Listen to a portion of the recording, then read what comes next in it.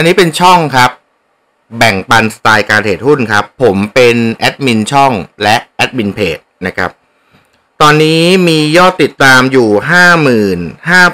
55,190 user ครับ ในช่วงต้นปี ในช่วงต้นปีนะครับ แล้วตอนนี้ปลายปีแล้วนะครับ ปลายปีแล้วนะครับ วันนี้วันที่ 30ธันวาคม 2566 นะครับ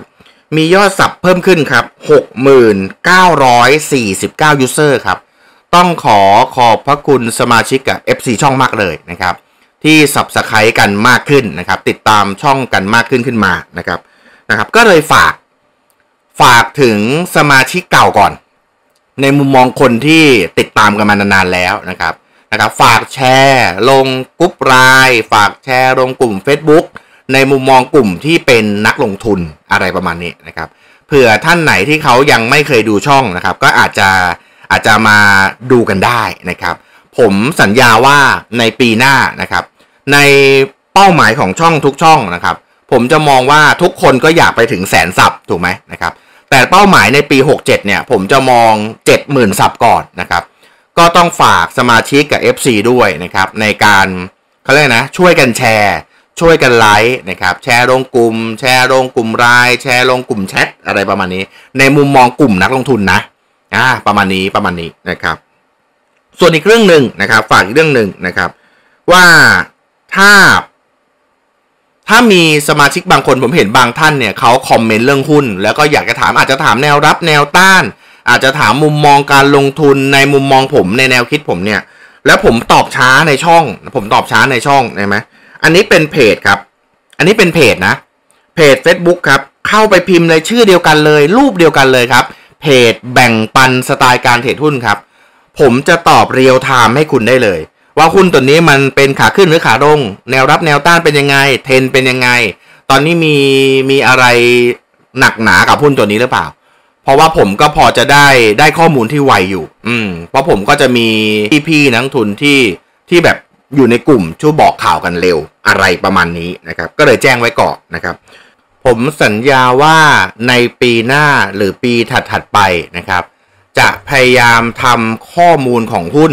หรืออัปเดตข้อมูลหุ้นเนี่ยให้มันลึกมากขึ้น ให้มันมีความรู้มากขึ้น ให้มันมีความรู้ที่คนอื่นเขาไม่รู้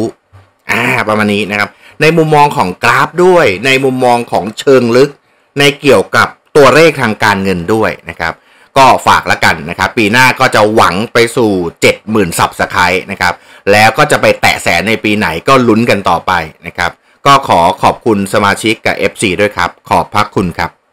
BLC ครับ บริษัทบางกอกแล็ปแอนด์คอสเมติกจำกัดมหาชน BLC ทำอะไร อันนี้ part แรกดู fact sheet ก่อน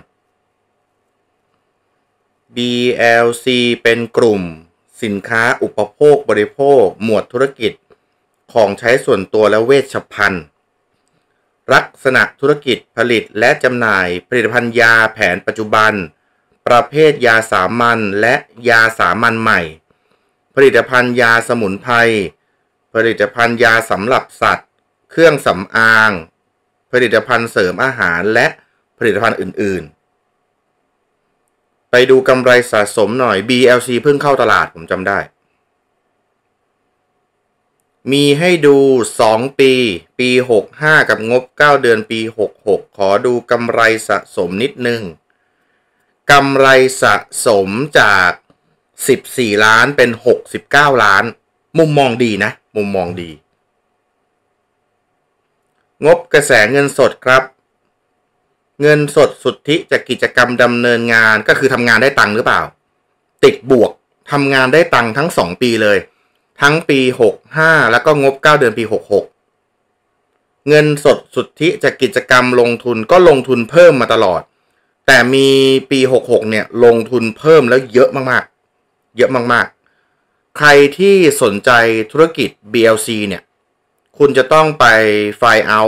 ค้นข้อมูลตรงนี้แล้วว่าเขาลงทุนเพิ่มอะไร ในการลงทุนครั้งเนี้ยที่เกือบเกือบพันล้านเนี่ย มันจะส่งผลอะไรกับอนาคตของ BLC หรือเปล่า คือง่ายๆเลยจะทำกำไรกลับมาไหมในการลงทุนเพิ่ม แต่ส่วนใหญ่แล้ว ผู้บริหารกับสกลุ่ม CEO หรือว่าบอร์ดเนี่ย ในการลงทุนขนาดเนี้ยในอนาคตเนี่ย มันต้องมีอะไรดีๆ กลับมานะ เพราะลงทุนเยอะมาก ต่อไปเงินสดสุทธิจากกิจกรรมจัดหาเงิน ปี 65 ติดลบดี ติดลบเนี่ย แปลว่าเป็นการจ่ายปันผลหรือคืนหนี้ แต่ถ้าติดบวกปี 66เนี่ยติดบวก ผมเข้าใจได้ว่าเขาเพิ่ง IPO เข้าตลาด จริงๆอะมันเรียกว่าเพิ่มทุน เพิ่มทุนติดบวกเป็นเรื่องปกติ ในกิจกรรมจัดหาเงิน มุมมองผมยังมองงบกระแสเงินสดเนี่ย เป็นมุมมองบวกอยู่นะ ต่อไป อัตราส่วนทางการเงิน ผมขอดูอัตรากำไรขั้นต้นหน่อย อัตรากำไรขั้นต้นเนี่ย ปี 65 54เปอร์เซ็นต์ งบ 9 เดือนปี 66 56เปอร์เซ็นต์อัตรากำไรขั้นต้นเพิ่มขึ้นมุมมองบวก แสดงว่าหน้าแฟตชีตเนี่ยมุมมองยังบวกอยู่ ต่อไปไปดูหน้างบการเงินหน่อย ดูงบการเงินอย่าเพิ่งคิดอะไรเยอะครับ ไปดู 2 ตัวแปรหลักก่อนดูได้ปี 65 กับงบ 9 เดือนปี 66 เหมือนเดิม ดูรายได้รวมกับกำไรสุทธิก่อน รายได้รวมดูเลขกลมๆเนาะ ตอนนี้เกินพันล้านถูกไหม มุมมองดีนะ มุมมองดี งบ 9 เดือนปี 66 ก็คือยังไม่เต็มปี 66 เลย ก็พันล้านแล้ว ก็มุมมองยังบวกอยู่กำไรสุทธิ 125 ล้าน กับรายได้รวมประมาณ 1,300 ล้าน ตอนนี้งบ 9 เดือนปี 66 รายได้รวมพันล้านเลขกลมๆกำไรสุทธิ 96 ล้าน มุมมองผมแนวคิดผม ผมคิดว่าถ้าจบปี ทั้งรายได้รวมกับกำไรสุทธิเนี่ย เผลอๆจะแซงปี 65 นะ เผลอๆจะแซงปี 65 หรือไม่ก็บวกลบไม่หนีกันไม่หนีกัน แสดงว่ามุมมองผมยังบวกอยู่นะ เหมือนเป็นขาขึ้นอยู่อะอ่าถ้ากราฟก็คือเป็นขาขึ้นอยู่หนี้สิน 624 ล้าน สินทรัพย์รวม 2,173 ล้าน มุมมองดีหนี้น้อย คุณสังเกตดีๆ ข้อมูลปี 2565 สินทรัพย์รวม 1,200 แต่สินทรัพย์รวมของปี 66 อะ 2,001 แล้วนะ สินทรัพย์รวมเพิ่มขึ้นถูกไหม แล้วคุณดูหนี้สินรวมปี 65หนี้สินรวมปี 65 931 แต่หนี้สินรวมงบ 9 เดือนปี 66 อะ 624 คือมันดีตรงที่ว่า สินทรัพย์เพิ่มขึ้น หนี้สินลดลง มุมมองโคตรบวก เออ ประมาณนี้ ต่อไปส่วนของผู้ถือหุ้นเพิ่มขึ้นครับ จาก 200 กลางๆ เป็น 1,500 มุมมองดี มูลค่าหุ้นที่เรียกชำระแล้วจาก 240 เป็น 300 ก็แน่นอน เขาเพิ่งเพิ่มทุน IPO อ่า ประมาณนี้นะครับ ต่อไป ROE กับ ROA ก็ 8 เนาะก็ยังน้อยอยู่ ก็ยังน้อยอยู่ ผมชอบปั้นหุ้น ROE กับ ROA เนี่ย ต้องยังไม่ได้เกณฑ์นะ เกณฑ์ของผมเนี่ยจะ 10 15 ถ้าเราจะปั้นพอร์ตหุ้นสักตัวแล้ว ROE กับ RA แม่งแบบ 15 18 20 25เนี่ยผมไม่ปั้นละ ผมมองว่าตรงนั้นเนี่ย คุณไปดูราคาหุ้นได้เลย แม่งแพงไปล้วประมาณนี้ ต่อไปมูลค่าหลักทรัพย์ตามราคาตลาด โอ้หุ้น 3,000 ล้าน ก่อนที่จะไปตัวเลขทางการเงินส่วนหลังสรุปตัวเลขทางการเงินส่วนหน้าก่อน ในมุมมองของแฟกชีตกำไรสะสมงบกระแสเงินสด อัตรากำไรขั้นต้น มุมมองบวกนะ หน้าแฟกชีตมาดูหน้างบการเงินรายได้รวมกับกำไรสุทธิ ผมก็ยังมองทรงๆในขาขึ้นอยู่ ในตัวเลขสองอันนี้หนี้สินสินทรัพย์อันนี้ดีเลย ดีเลย สินทรัพย์เพิ่มขึ้น หนี้สินลดลง แล้วเมื่อเทียบหนี้สินกับสินทรัพย์ หนี้น้อยด้วย มุมมองดี ส่วนของผู้ถือหุ้นเพิ่มขึ้นมุมมองดี มูลค่าหุ้นที่เรียกชำระแล้วตัวเลขมีกระโดดเพราะเพิ่งเพิ่มทุน IPO ROE กับ ROA ก็ยังไม่แพง พูดว่ายังไม่แพงจะเข้าใจง่ายนะ ยังไม่แพง สุขภาพตัวเลขทางการเงินส่วนหน้า เทียบ 2 ปี ปี 65 กับปี 66 มุมมองยังบวกครับ BLC ต่อไปมาดูส่วนหลังมูลค่าหลักทรัพย์ตามราคาตลาด เสียใจจังเลย ยังเป็นหุ้น 3,000 ล้านอยู่เลยเนาะผมไม่ค่อยปั้นหุ้น 3,000 ล้านอะถ้าผมไม่ได้มองหุ้นตัวนั้นเป็นเติบโตแต่เติบโตจริง ๆ ขยายสาขาได้เป็นเมกะเทนอะไรประมาณเนี้ยนะครับ แต่ผมมองแบบ BLC เขาเป็นโรงงานยา ผมไม่ได้มองว่าเขาจะ เติบโตอะไรมากอะ่ะผมมองเขาเป็นหุ้นที่แบบว่า แบบแนวแนวดิเฟนซีฟอะเออเหมือนเหมือนคล้ายๆ หุ้นโรงพยาบาลอะเออก็แบบมีรายได้สม่ำเสมออะไรประมาณเนี้ยหุ้นห้าบาทสิบมูลค่าหุ้นทางบัญชีสองบาทห้าสิบห้าตังค์ถ้าคุณซื้อห้าบาทสิบใช่ไหมคุณซื้อแพงกว่ามูลค่าทางบัญชีสองเท่า ถามว่าแพงไหมก็ไม่แพงเท่าไหร่นะไม่แพงเท่าไหร่ ไม่แพงเท่าไหร่ หุ้นเพิ่งเข้า IPO นะครับปันผลยังไม่มีก็ไม่แปลกนะครับ แต่ถ้าเกิดตะกี้ผมมองตัวเลขเนาะรายได้รวมกับวันสุทธิเนี่ยมันมันเริ่มดีขึ้นเรื่อยๆ แล้วก็มีการลงทุนเพิ่ม ถ้าจำไม่ผิด น่าจะลงทุนสร้างโรงงานเพิ่ม ผมก็เลยคิดว่าถ้าเขาสร้างโรงงานเพิ่มแล้วจบ แล้วรับรู้ไรายได้ ผมมองว่าหุ้นตัวนี้จะปันผลดี เพราะเมื่อมีโรงงานเพิ่ม รายได้รวมก็จะเพิ่มกำไรก็จะเพิ่มตาม แล้วที่เขาขายทุกวันนี้ก็คือผลิตภัณฑ์ ยาแผนปัจจุบัน ยาแผนสมุนไพรอาจจะมีเสริมเสริมบ้างเรื่อง อาหารเสริมหรือว่าเครื่องสำอาง อันนั้นผมไม่ใช่ประเด็นของผม แต่ผมมองว่ามันเป็นสินค้าจำเป็นสองอย่างแรกสองอย่างแรกนะครับ ผมก็เลยมองว่ามันต้องเป็นหุ้นแบบ defensive stock ที่ดี BLC นะ BLC แล้วอาจจะมีผลเติบโตเรื่องการ เพิ่มจำนวนลูกค้าได้อ่าเพราะเขาเป็นลักษณะของ B2B ถูกไหมนะครับ B B2C มากแต่ไม่เยอะนะครับ ต่อไปไปดูข้อมูลผู้ถือหุ้นรายใหญ่เทียบผู้ถือหุ้นรายย่อยณวันที่ 16 มิถุนา 2566 รายย่อยถือ 38%ถามว่าเยอะไหม ก็พอฝืน ผมไม่ชอบรายย่อยถือเกิน 30%เอาพูดง่ายๆ ถ้าผมสังเกตไหมทุกๆคลิปเลย ถ้าผมเห็นรายย่อยถือแบบ 20 กว่าเปอร์เซ็นต์20 ปลายปลายไม่เกิน 30 ผมจะบอกว่าดีเลย เสียงผมที่จะบอกว่า โอ้โห ชอบอะไรประมาณนี้แต่พอ 38%มันก็จะมีฝืนๆนิดนึง แต่มันก็ยังไม่ได้เยอะถึงขนาด จะน่ากลัวไง ใช่ไหมดูรายใหญ่ก็ถือชัดเจนนะสามท่านแรกถือชัดเจนนะครับ ก็เป็นกลุ่มเจ้าของชัดเจนเลยนะครับ ถ้าคุณมองข้อมูลตอนนี้และคุณเชื่อข้อมูลตอนนี้เนี่ย ผมยังมองเป็นบวกอยู่นะ รายใหญ่เทียบรายย่อยนะ ยังมองเป็นบวกอยู่ ต่อไป ดูข้อมูลหลักทรัพย์หน่อย ดูเว็บไซต์บริษัทเดี๋ยอยู่ราชบุรีอะดูหน้าเว็บไซต์ของบริษัทหน่อย BLC ครับ เราคือหนึ่งในกลุ่มบริษัทยาและผลิตภัณฑ์สุขภาพชั้นนำ ของประเทศ โดยดำเนินการอย่างครบวงจรตั้งแต่ต้นน้ำถึงปลายน้ำของห่วงโซ่คุณค่าธุรกิจผลิตภัณฑ์สุขภาพ มีอะไรบ้างเนี่ย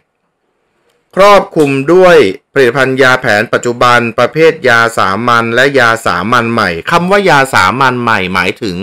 BLC เนี่ยมีระบบมีมีแผนก R&D ด้วยก็คือคิดค้นยา คิดค้นยาเช่น สมมติว่ามีโรคมา เป็นโรคใหม่ที่ยังไม่มียารักษาได้ BLC ก็มีกลุ่ม R&D เนี่ยพยายามพัฒนายาเนี่ยให้มารักษาโรคนี้ให้หายให้ได้อะประมาณนี้นะครับผลิตภัณฑ์ยาสมุนไพรผลิตภัณฑ์ยาสำหรับสัตว์ เครื่องสำอาง ผลิตภัณฑ์เสริมอาหาร และผลิตภัณฑ์สุขภาพอื่น ๆ และเพียบพร้อมด้วยการวิจัยพัฒนา การผลิตตามมาตรฐานสากล ทีมขายและทีมการตลาดคลังสินค้าและศูนย์กระจายผลิตภัณฑ์ที่คล่องตัว ผมก็มองว่าจริง ๆ แล้วเนี่ย ถ้าเอาตาม เอาตามที่ผมฟังฟังมานะ BLC เนี่ยเป็นธุรกิจ B2B เขาจะค้าขายกับใครบ้างใช่ไหม ถ้าแบบนี้คุณอาจจะแบบ ดูหน้าเว็บไซต์จะงงๆใช่ไหม คุณเข้าไปใน YouTube พิมพ์ BLC วักนิดนึงแล้วพิมพ์ว่าหุ้น จะมีรายการบางรายการหรือยูทูบเบอร์บางท่านเนี่ย สัมภาษณ์ผู้บริหารหรือคุยถึง BLC ในธุรกิจไว้อย่างละเอียดเลยว่าเขาค้าขายกับใคร แต่ถ้าคุณอยากดู 56ขีดหนึ่งไปดูก่อนมันมีให้ดูหรือเปล่า ถ้ามี 56ขีดหนึ่งนี่ง่ายเลย กลับไปหน้าเดิมนะ กลับไปหน้านี้กลับไปหน้านี้ กลับไปหน้าข้อมูลหลักทรัพย์เลื่อนลงไปครับ มีไหม ไม่มี เห็นปะไม่มี เพราะว่ายังเป็นบริษัทที่ใหม่อยู่ เขาอาจจะยังไม่ทำยังทำไม่เสร็จ แต่เดี๋ยวเขาจะทำแหละ ดี๋ยวเขาจะทำนะครับ งั้นเราเข้าไปดูใน Off Day Snapshot เอาก็พอมีให้ดูแล้วเนี่ย นี่นี่นี่นี่ไตรมาสสามปีหกเนี่ยเข้าไปดูได้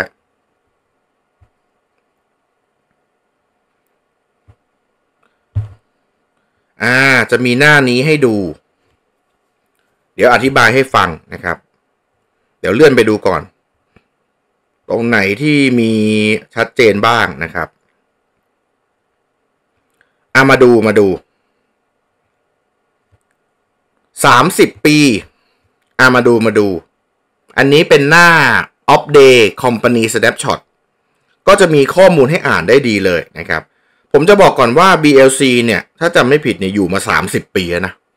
ก็แข็งแกร่งนะ โรงงานผลิตยานะครับ แล้วก็ยังมีโอกาสที่จะสร้างโรงงานเพิ่มด้วย เออ ประมาณนี้ประมาณนี้นะครับ แต่บอกไว้ก่อนว่า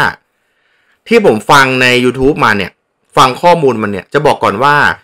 มีการผลิต OEM บ้างของยา แต่บอกว่าไม่เยอะ แล้วผู้บริหารเนี่ยบอกชัดเจนเลยว่า ในการ OEM เนี่ย ส่วนใหญ่จะเป็น OEM ของต่างประเทศ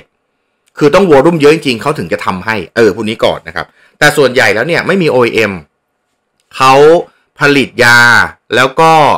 แล้วก็มีการพัฒนาตัวยาเนี่ยแล้วก็ขายเอง ส่วนใหญ่ที่ขายนะครับ ก็มี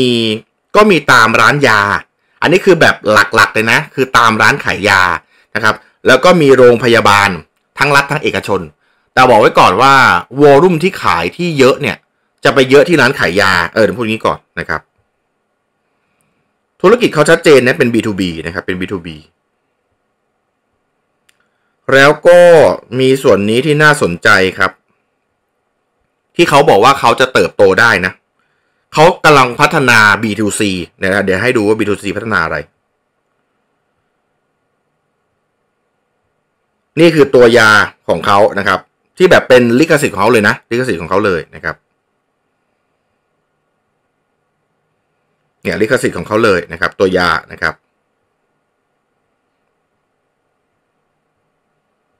อ่าตรงนี้ตรงนี้ตรงนี้ ผมมองว่าตรงเนี้ยตรงเนี้ย ตรงเนี้ยเขากำลังคุณเข้าใจแล้วเนาะว่าตอนตอนแรกอะ่ะเขาเป็นโรงงานยาที่สามารถพัฒนาตัวยาได้ ตามโลกในประเทศเรา ถูกไหมก็คือขายยาทั่วไปแหละ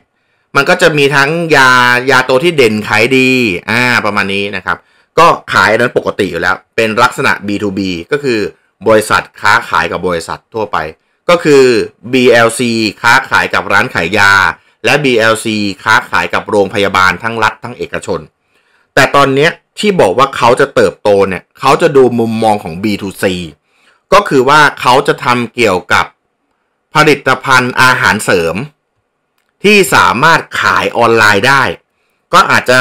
ขายหน้าร้านด้วย แล้วก็มีการขายออนไลน์ด้วย แล้วก็ขายในเซเว่นด้วยโลตัสวัสันด้วย ผมจะบอกก่อนว่า ยาแผนปัจจุบัน ยาอันตรายทั่วไป หรือเป็นยาที่จะต้องหมอสั่งต้องเภสัชจ่ายไม่สามารถขายออนไลน์ได้ แต่ธุรกิจ B2C ตัวเนี้ยเขาจะมาขายในเรื่องของอาหารเสริมและเวชสำอาง ที่ B2C กำลังจะขยายตัวตรงนี้ แต่บอกไว้ก่อนตรงนี้มันเป็นเปอร์เซ็นที่น้อยอยู่นะ แต่ถ้าเขาเติบโตในเรื่องของเขาได้ถ้าเกิดยาตัวใดตัวหนึ่งถ้าเกิดอาหารเสริมตัวใดตัวหนึ่งเนี่ย ที่ทำออกมาหรือว่าแผนการโฆษณาดีเนี่ย แล้วเขาแบบดังระเบิดขึ้นมาเนี่ย ผมจะบอกก่อนว่ายอดขายของ BLC ก็จะพุ่งพวดเหมือนกันนะ บอกก่อนนะครับ มันก็อาจจะเป็นเมกะเทนตัวหนึ่งติดในตลาดไปเลย ในในการตลาดของออนไลน์ประมาณนี้นะครับ ผมก็เลยมองตรงนี้ว่าเออ ถ้าสมมติคนที่แบบว่า ผมรู้แล้วแหละว่า ในมุมมองของสมาชิกกับ FC ถ้าฟังตัวนี้ก็จะเริ่มเก็ตง่าย เพราะว่าเราอะก็ส่วนใหญ่เราก็ไปร้านขายยา ไปโรงพยาบาล ไปเยี่ยมผู้ป่วยอะไรเงี้ย เราก็จะคุ้นเคย เพราะว่าธุรกิจของ BLC เนี่ย ถ้าพูดง่ายๆเนี่ย มันเป็นสินค้าจำเป็น มีรายได้ประจำ แค่แค่แปดสิบเปอร์เซ็นตอนเนี้ย มันเป็นของ B2B เท่านั้นเอง แต่ผมมันก็มองว่ามองเข้าใจง่าย มองเข้าใจง่ายนะครับ ในธุรกิจเขา ดูก่อนมีอะไรอีกเปล่า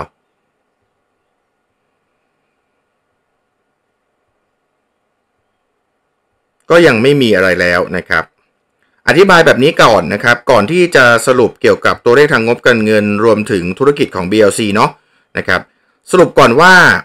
ตอนนี้มันไม่มีหน้าโครงสร้างรายได้ให้บอกให้เห็นใช่ไหม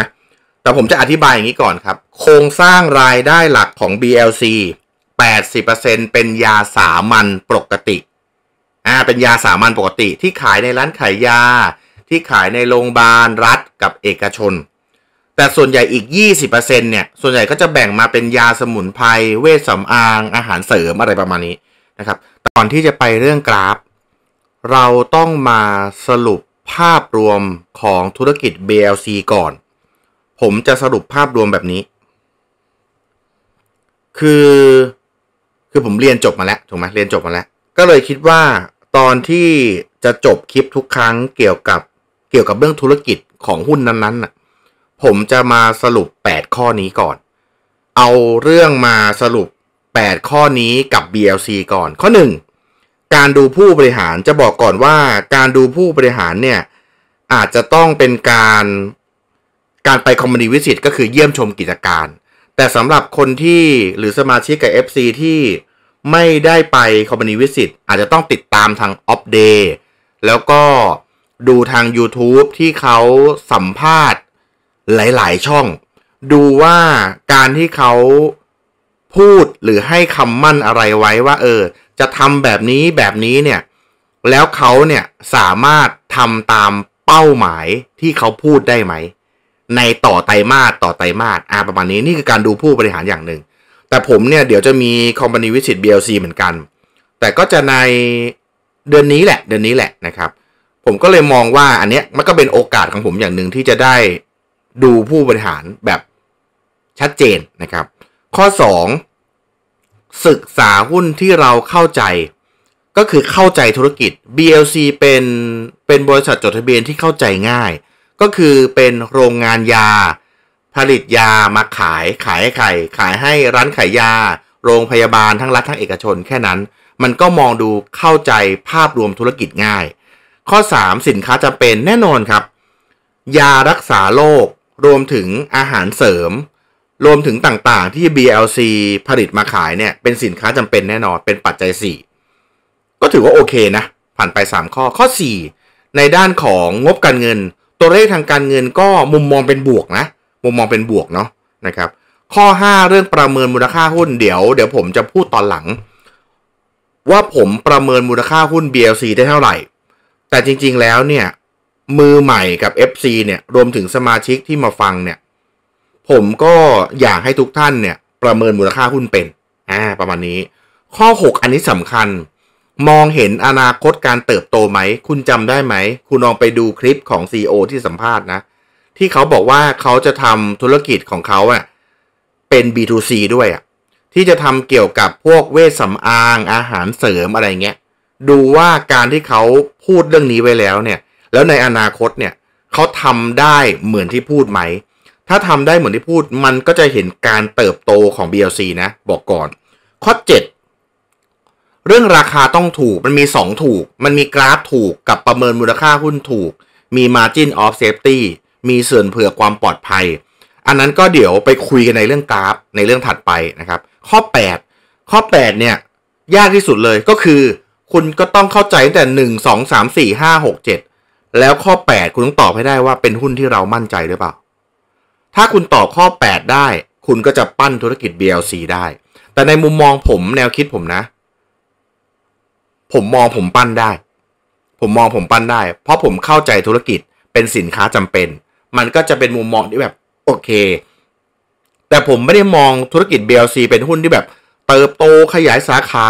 เติบโตแนวเมกะเทนไม่ใช่ ผมมองเป็นหุ้นปลอดภัยอะ เออผมมองเป็นหุ้นปลอดภัย เป็นที่พักเงินได้ แล้วต่อไปเนี่ย ผมมองว่าเขาจะมีปันผลที่ดีให้กับนักลงทุน ส่วนเรื่องกราฟเนี่ย เดี๋ยวเราไปดูอีกทีว่ากราฟตอนนี้มันถูกมันแพง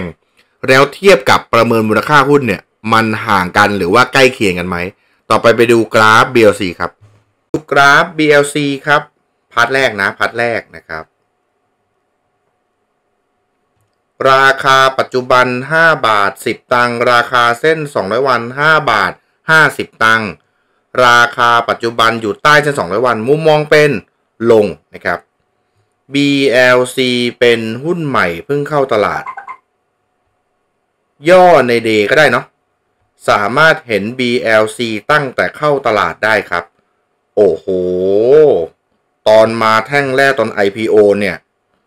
แดงแป๊ดเลยนะ เข้ามาก็ทำตัวน่ารักเลยนะครับ สร้างราคาดอยไว้ให้ 10 บาท 50 ตังค์ครับ 10 บาทนะ ปรับฐานลงมาประมาณ 4 บาท จาก 10 บาท 50 ลงมา 4 บาท ปรับฐานลงมา 61%ถือว่าเยอะแล้วนะ ถือว่าเยอะแล้วนะครับ ถือว่าเยอะแล้วนะครับ เทนเป็นขาลงใน Time Frame Day รอบหุ้น รอบหุ้นจาก 10 บาทลงมา 4 บาท เป็นรอบหุ้นแพงมาถูกขาลง ขาลงขาลงนะครับ แต่ตอนเนี้ยก็ยังไม่เห็นมา 4 บาทอีกเลย แต่ก่อนที่แตะ 4 บาทเนี่ย ก็ไม่ได้วิ่งไป 5 บาทกว่าแบบที่เราเห็นนะ ผมให้ดูแบบนี้ คุณดูก่อนว่าตอนที่เขาแตะ 4 บาทเนี่ย เขาลงมาแตะประมาณ อันนี้ครั้งแรกที่แตะ อันนี้ครั้งที่สองแล้วก็ครั้งที่สามก็แสดงว่าแนวรับสำคัญ 4 บาทเนี่ย ก็เป็นแนวรับที่แข็งแกร่งเช่นกัน ผมจึงมองว่า การปรับฐาน 61%อะใช่ เป็นขาลงตรงนั้น แต่ตอนเนี้ยจาก 4 บาทอะ ขึ้นไปเบรกเส้น 200 วันซับแรงขายไป 1 รอบ ที่ราคา 5 บาท 65 ตังค์ผมจึงมองว่าย่อยหนึ่ง ใช่ครับ 10 บาทถึง 4 บาท เป็นแพงมาถูกขาลง แต่ถ้า BLC ในในเดือนนี้ หรือในควอเตอร์หนึ่งนี้ ใน 3 เดือนแรกของปี 67 ไม่หลุด 4 บาทอีกเลย มองตรง 4 บาทถึง 5 บาท 65 ตังค์มองตรงเนื้อรอบหุ้นเป็นถูกไปแพง เริ่มจะทำฟอร์มขาขึ้นแล้ว ผมก็เลยมองว่า เออ ก็ควรจะมาอัพ BLC ก่อน แล้วก็อธิบายธุรกิจไปแล้วถูกไหมนะครับ ผมก็เลยมองว่าผมเข้าใจแหละว่าสมาชิกกับ FC เนี่ยน่าจะเก็ตง่ายเกี่ยวกับธุรกิจเขา ก็เลยมองว่าอาจจะมีคนอยากปั้น อาจจะมีคนอยากปั้นนะครับ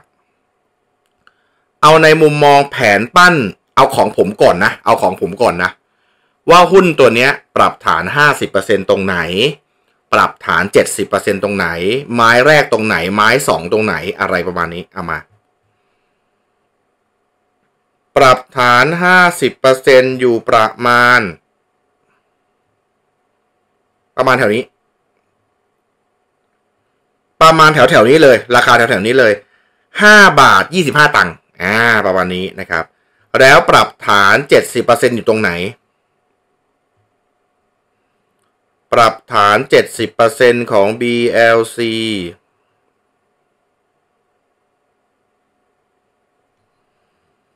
ประมาณ 3 บาท 10 ตังค์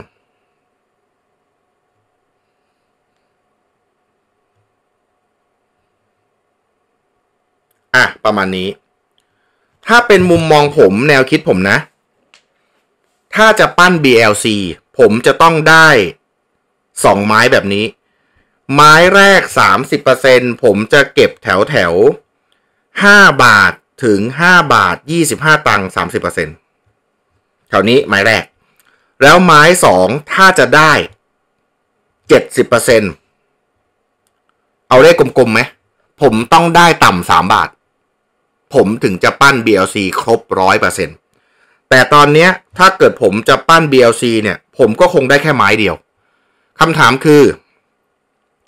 มีสมาชิกเรียนเคยถามว่า ถ้าสมมุติเราเก็บได้แค่ไม้เดียว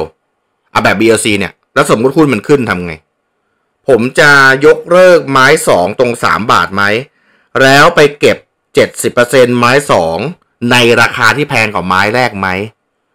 เอาตรงๆ ไม่ ผมจะถือแต่ไม้แรกแล้วก็ลันไป เออ บอกก่อน พอไม้แรกผมเนี่ย ก็เป็นแสนหุ้นแล้วนะ บอกก่อน ผมก็เลยมองว่า เราไม่จำเป็นจะต้องเก็บไม้สองที่แพงกว่า เราถือไม้แรกแล้วลันไปก็ได้ แล้วรอเขาย่อตัวอีกครั้งค่อยเติม ค่อยเติม ค่อยเติมนะครับ ผมก็เลยบอกก่อนว่า แผนผมก็ยังเป็นเหมือนเดิม ถ้าผมได้ไม้แรกแถวแถวห้าบาทถึงห้าบาทยี่ห้าไปแล้ว แล้วไม้สองที่เรามองไว้ใต้สามบาทไม่ได้ เราก็จะถือแต่ไม้แรกนี่แหละ แล้วก็ลันไป แล้วก็ลันไป แล้วก็ลันไปนะครับ ประมาณนี้ ต่อไปเป็นแผนปั้นสำหรับคนเห็นธุรกิจ BLC แล้วสนใจปั้นพอร์ต ดูกรอบปัจจุบันก่อน กรอบปัจจุบันคือไปข้างหน้า แนวต้านในกรอบปัจจุบัน แนวรับในกรอบปัจจุบัน แนวต้านในกรอบปัจจุบัน 5 บาท 65 แนวรับในกรอบปัจจุบัน 4 บาท ครึ่งทางเท่าไหร่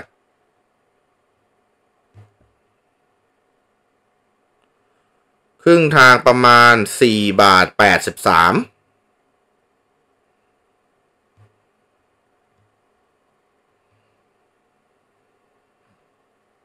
ผมจะบอกก่อนว่าหุ้นที่ปรับฐาน 60 กว่าเปอร์เซ็นต์เนี่ย โอกาสลงจบได้นะ โอกาสลงจบได้นะครับ เพราะผมเห็นการยกหายยกโรก็เห็นชัดอยู่นะครับ แผนที่2สำหรับคนอยากมี BLC แล้วคืออยากปั้นแล้วอยากรู้ราคาแถวไหนที่ปั้นใช่ไหมไม้แรก 30%ครับ เราจะเก็บแถวแถว4บาท 83 ถึง 5 บาท 65 ตังค์ เอาง่ายๆเลยทุนไม้แรกห้ามเกิน 5 บาท 65 ประมาณนี้ แล้วไม้ 2 70%เนี่ยเผื่อมีโอกาสย่อตัว ไม้ 2 เราจะเก็บใต้ 4 บาท 83 ถึง 4 บาทคำถามคือ ถ้าเราเก็บ BLC แล้วครบร้อยเปอร์เซ็นแล้วมันหลุดสี่บาททำไง ในมุมมองคนไม่สบายใจ เมื่อหลุดสี่บาทเราต้องสต็อปลอสออก เพื่อความสบายใจของเรา แล้วถ้ามันลงไปแบบผมบอก มันลงไป 70%ใต้ 3 บาท คุณจะต้องเก็บในราคานั้นคืน เพราะคุณมั่นใจในธุรกิจแล้วใช่ไหมถูกไหมแปดข้อนั้นคุณมั่นใจแล้วใช่ไหมอ่า ประมาณนี้นะครับ ผมก็เลยมองว่าเป็นแผนปลอดภัย เผื่อเขาหลุด 4 บาทต้องพูดนี้ก่อน แต่ถ้าเป็นผมในแผนแรกของผมอะที่เก็บ 5 บาทกับ 5 บาท 25 30%แล้วสมมุติเขาลงไปใต้ 3 บาทจริงใน 70 ปรับฐาน 70%น่ะ แล้วผมเก็บเก็บไม้2 70%น่ะผมไม่มีสต็อปลอสผมจะวางเก็บแบบนี้เลย พอเก็บครบจบถือแค่นั้นเองอ่าประมาณนี้นะครับ แต่อันนี้สำหรับคนที่แบบว่า เออ เราจะได้สบายใจในการคือเราไม่อยากถือแล้วติดลบเยอะๆเออ ประมาณนี้ก่อนประมาณนี้ก่อนนะครับ ต่อไป ผมมองว่าทรงของเขาเนี่ยทำเล่นรอบเก่งกำไรได้นะ จบแผนปั้นเรียบร้อย ผมให้ดูอะไรนี้ ผมจะบอกกันว่าเฮ้ย ที่ผมบอกตอนแรกว่าเฮ้ยทรงมันเนี่ย เริ่มยกหายยกโลใช่ไหมคุณดูตรงนี้เป็นฐานนะสี่บาทตรงนี้เป็นฐานใช่ไหมเขามาสี่ตรงนี้ก่อน แล้วขึ้นแล้วย่อ แล้วก็ยืนสี่รอบหนึ่งไม่หลุดไม่หลุดนะครับ แล้วพอไม่หลุดปุ๊บเบรกเบรกหัวนี้แปลว่าอันนี้เป็นไฮแรก เบรกปุ๊บทำไฮใหม่ แล้วย่อ ย่อตรงนี้โคตรดีเลย เพราะอะไรครับ มันไม่หลุดมาสี่บาทไง แสดงว่าโลนี้เป็นการยกโลชัดเจน พอพักฐานอยู่แถวแถวสี่บาทหกสิบสี่บาทแปดสิบเบรกครับ เบรกไฮที่สองทำไฮที่สามใหม่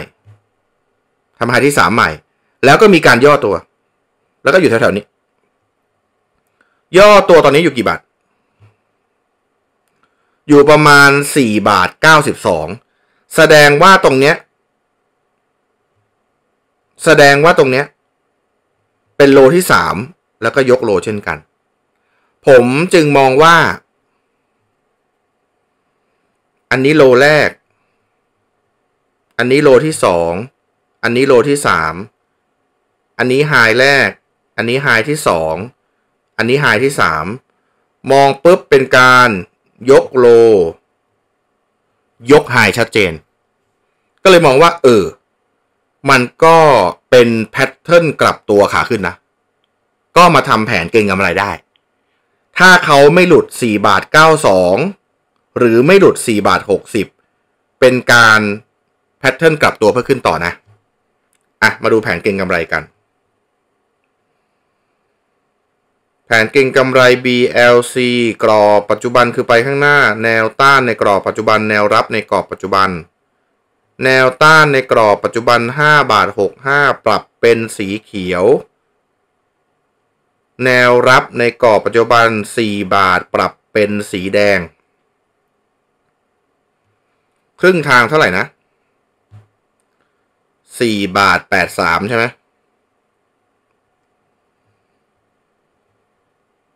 ปรับเป็นสีเหลือง อ่า ประมาณนี้ประมาณนี้ ราคาปัจจุบันของ BLC 5 บาท 10 ตังค์อยู่ในโซนแนวต้านในกรอบปัจจุบันคือเหนือ 4 บาท 83 ถึง 5 บาท 65 ตังค์โซนแนวรับในกรอบปัจจุบันคือใต้ 4 บาท 83 ถึง 4 บาทนะ แนวรับแรกคือโลของเส้นเทียนปัจจุบันครับ 5 บาท แนวรับถัดมา 4 บาท 92 แนวรับหลังพิงฝาใช่ไหม ผมให้ราคานี้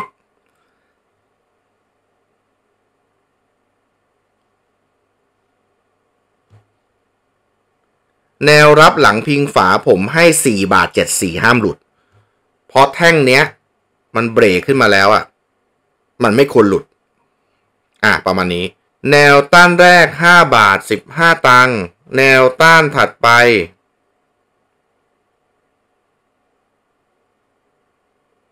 ห้าบาทสามสิบตังค์แนวต้านถัดไป ห้าบาทสี่สิบห้าตังค์แนวต้านถัดไปเส้น 200 วันครับ 5 บาท 50 ตังค์แนวต้านสำคัญในรอบนี้ของ BLC ครับ 5 บาท 65 ตังค์ สรุปแผนเทรดเล่นรอบเก่งกำไร BLC แนวรับแรก 5 บาท แนวรับถัดมา 4 บาท 92 แนวรับหลังพิงฝา 4 บาท 74 ใช้ 3 ราคานี้เป็นจุด stop loss จุด cut ตัดขาดทุนหลุด 5 บาท หลุด 4 บาท 92 หลุด 4 บาท 74 ต้องออก แนวต้านแรก 5 บาท 15 ถ้า week หน้า มี volume support ต่อเนื่องเบรก 5 บาท 15 สตางค์ได้ และที่สำคัญไม่หลุด 3 แนวรับนี้ แนวต้านถัดไป 5 บาท 30 ตังค์5บาท 45 ตังค์และ 5 บาท 50 ตังค์ก่อน ในการชนเส้น 200 วันก็อาจจะมีย่อบ้าง ย่อลงมาไม่ควรหลุด 5 บาทกับ 5 บาท 15 แล้วกลับไปเบรก5บาท 30 ได้ใหม่ กลับไปเบรก5บาท 50 ตังค์ได้ใหม่ แนวต้านสำคัญในรอบนี้เพื่อเทสกับขาขึ้นนะ 5 บาท 65 ตังค์แผนเทรดเก่งกำไร BLC ประมาณนี้ครับ จบเรื่องแผนปั้นไปสองแผนแล้วก็แผนเก่งกำไรด้วยเนาะสุดท้ายมาเรื่องประเมินมูลค่าหุ้น ลบเส้นก่อนอ่าประมาณนี้นะครับ ประเมินมูลค่าหุ้น ผมประเมินมูลค่าหุ้นได้ของ BLC อยู่ในเลทประมาณ 3 ถึง 4 บาท ใน PE สิบห้าถึงสิบแปดครับ เพราะผมเห็นเขาเป็นโรงงานผลิต เออ ประมาณนี้ผมไม่ได้มองเติบโต ถ้าหุ้นเติบโตผมอาจจะให้ PE เยอะอาจจะให้แบบยี่สิบอัพแต่นี้เป็นเป็นหุ้นแบบหุ้นปลอดภัยอะไรประมาณนี้นะครับ หวังว่าจะมีปันผลในอนาคตอะไรประมาณนี้ก็ประเมินมูลค่าหุ้นก็ได้ประมาณนี้ BLC พาร์ทแรกประมาณนี้ครับ ขอบคุณ FC ที่ติดตามช่องด้วยครับ ขอบคุณครับ อันนี้เป็นเพจครับเป็นเพจนะครับสำหรับการลงความรู้ข้อมูลหุ้นบ้าง แล้วก็แชร์เกี่ยวกับคลิปของช่องแบ่งปันสไตล์การเทรดหุ้นบ้างนะครับ ประโยชน์ของเพจคืออะไรใช่ไหมบางครั้งนะครับจะมีสมาชิกหรือ FC บางท่านเนี่ยเขาต้องการขอแผนหุ้น แผนหุ้นตัวนู้นตัวนี้อะไรประมาณนี้นะครับ แล้วอาจจะช้าต้องพูดนี้ก่อนนะครับ การทำคลิปขึ้นมา 1 คลิปเนี่ยกว่าจะอัดวิดีโอกับตัดเนี่ยมันใช้เวลาสักพักใหญ่ๆนะครับ แล้วผมเป็นคนทำงานประจำด้วยนะครับ แต่ผมเนี่ยเป็นแอดมินเพจเหมือนกันที่ขายของออนไลน์ แล้วก็ขายของออฟไลน์นะครับ ส่วนใหญ่หน้าที่ผมจะอยู่ในหน้าจอเป็นหลัก ผมจึงมองว่าถ้าเกิด ถ้าเกิดในมุมมองของการคอมเมนต์ช่อง อยากจะขอแผนหุ้นตัวนู้นขอแผนหุ้นตัวนี้นะครับ ผมยินดีให้แผนอยู่แล้วนะครับ แต่เป็นการตัดสินใจของเจ้าของพอร์ตเองว่าจะเป็นแนวทางไหนนะครับ ผมจึงมองว่าการส่งข้อความครับ ตรงสีน้ำเงินนะครับ การส่งข้อความทัก inbox เพจมาเนี่ยเป็นอีกช่องทางหนึ่งที่สมาชิกกับ FC จะถามผมได้ ผมจะบอกว่า ทั้งช่อง ทั้งเพจ ทั้ง Line แอดไม่มีแอดมินคนอื่น นอกจากผม นอกจากผมนอกจากผม ผมจะเป็นคนสื่อสารเองทั้งหมดนะครับ สมาชิกกับ FC เนี่ยวางใจได้เลยว่าคนตอบคือเจ้าของช่อง คือแอดมินเพจคนเดียวไม่มีท่านอื่น ไม่มีท่านอื่นนะครับ อันนี้เป็น Line แอดของช่องครับติดต่อเรื่องเรียนออนไลน์อ่าติดต่อเรื่องเรียนออนไลน์นะครับ ผมจะแยกไว้ว่าถ้า สมาชิกกับ FC เนี่ยดูคลิปในช่องแล้วรู้สึกว่าเข้าใจเรื่องการลงทุนมากขึ้น เข้าใจเรื่องกราฟมากขึ้น เข้าใจเรื่องธุรกิจมากขึ้น หรือเข้าใจเรื่องงบการเงินมากขึ้น หรือโดยรวม ชอบแนวทางการลงทุนแบบที่ผมอธิบายลงไปในช่อง แล้วสนใจเรียนถูกไหมแล้วสนใจเรียนนะครับ ผมอยากจะบอกว่าให้คุณทักข้อความที่เพจมาก่อน แล้วผมเองเนี่ยครับ ผมจะเป็นคนส่งลิงก์ Line แอดมาให้ ใน Line แอดเนี่ย จะมีข้อมูลว่า เรียนออนไลน์รอบต่อไปวันไหน ค่าใช้จ่ายเท่าไหร่ แล้วก่อนที่จะเรียนเนี่ย ควรมีความรู้พื้นฐานด้านใดบ้าง ประมาณนี้ แจ้งสมาชิกที่ต้องการใช้ระบบกราฟ S Pen Mobile ครับ แบบกราฟที่ผมใช้ในช่องอะ เผื่อบางคนที่เขาแบบว่า อยากใช้เห็นมันชัดดี ตีเส้นง่ายหรือว่าอยากทำกราฟตามผม เออนะครับ ให้สมาชิกหรือ FC ของช่องครับ ที่ยังไม่มีระบบกราฟ S Pen Mobile ใช้ คุณสามารถติดต่อโบรกของช่องได้ โบรกของช่องเป็นโบรก UOB Marketing ชื่อน้องโอ เบอร์โทรนะครับ 0898158756 เบอร์น้องโอนะ ให้โทรไปก่อนนะจ๊ะ แล้วค่อยแอดไลน์คุยกันนะครับนะครับนะครับ เพราะว่าตอนนี้ถึงแม้โบรกของ UOB เนี่ยยังไม่มี S Pen Mobile ให้ใช้ก็ตาม แต่น้องโอสามารถแก้ไขได้ในการที่โบก เปิดร่วมกับ CGS แล้วใช้ S Pen Mobile ได้ คุณจะเทรดพอร์ตไหน คุณจะเทรด UOB หรือคุณจะเทรด CGS เป็นการสนับสนุนช่องทั้งคู่ ขอให้เป็นการเปิดบัญชี ผ่าน Marketing ชื่อน้องโอก็พอ แค่นั้นผมก็ขอบคุณมาก ๆ แล้วครับ ประมาณนี้นะครับ สมาชิก หรือว่า FC ช่อง YouTube ครับ ต้องการเข้ากรุ๊ปไลน์ของช่อง ให้ทักข้อความเพจ ทัก inbox เพจ